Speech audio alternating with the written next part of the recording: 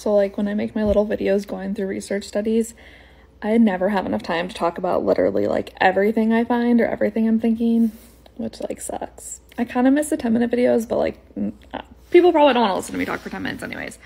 But I just wanted to share like quick the quick highlights of like if you if you see a stat or a fact like what should you be looking for what should you check for and like the first thing is is like a, a source right like where did the information come from is this person person person sharing like the name of a researcher or the university or the name of a journal where the results were published, right? Like that's really important context. And if they don't share that, then you do have to like Google and poke around to like see where the research came from. And then like once you actually find the study, like key things. When did the study happen? Like did it happen yesterday or a year ago or did it happen in like 1932? Right? Like literally some people share things where the data is really outdated, important context.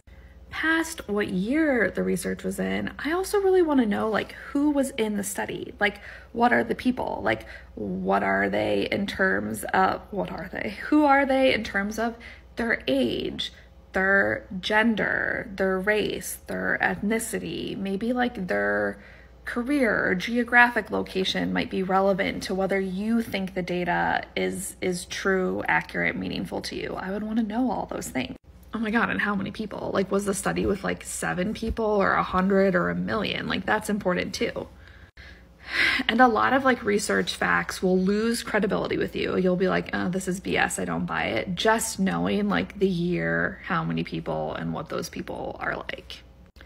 Then we get into things that like could be more complicated if you're not trained in research, but things like the setup of the study, like what was the de- like what was the research design and what types of questions were asked on like the survey or whatever to get their information. That can provide really helpful insights too as to whether or not you buy into this fact or stat.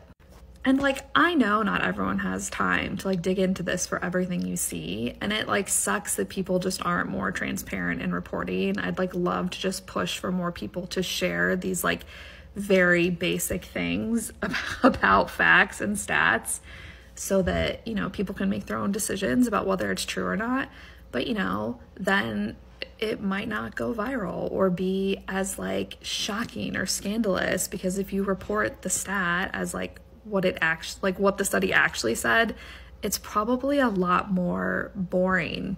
It's probably just a lot more boring and doesn't apply to as many people. So, there you go.